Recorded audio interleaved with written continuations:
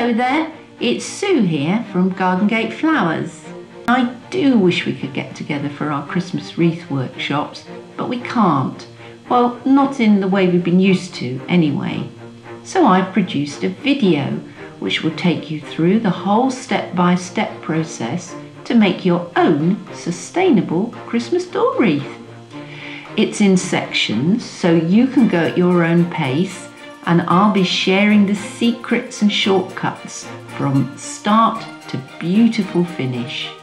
To find out how to make your own door wreath, pop over to gardengaterugby.co.uk. See you soon!